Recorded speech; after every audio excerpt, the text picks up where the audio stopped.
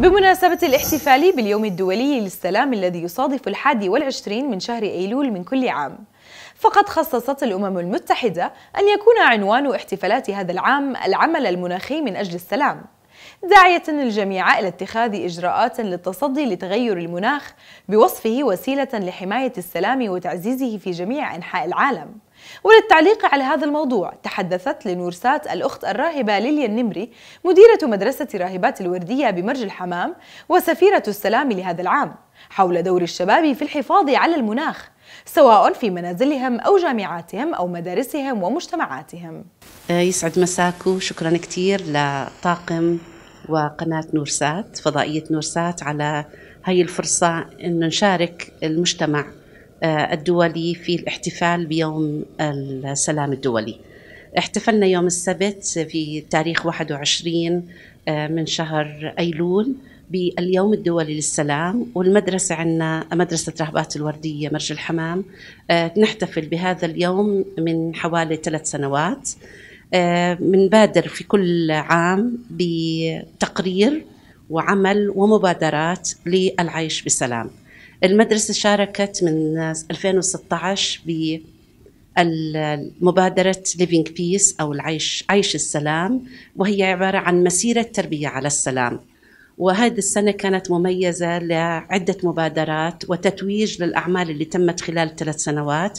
بحب أذكر منها عندنا حجر نرد السلام أو ال dice of peace اللي بيحمل في كل جانب أو كل مضلع عبارة تشد وتبني عالم السلام. طبعا الأمور البسيطة بتقدر تكون لها دور في تفعيل وإحياء روح السلام عند طلابنا عند المجتمع المدرسي موظفين الكادر التعليمي أولياء الأمور في انخراط بهذه المسيرة هي مسيرة تربية على السلام. في مشاركات أخرى ومبادرات لأن بتوصلنا من بقدر أقول من الدائرة العالمية لسفراء السلام أجندة تحمل عدة نشاطات بتواريخ محددة. فطلابنا شاركوا برسومات منها ماندلس رسومات تعبر عن السلام رسومات تمثل روح كيفية روح الإخاء المساواة العدالة المحبة والسلام بين المجتمع الطلابي.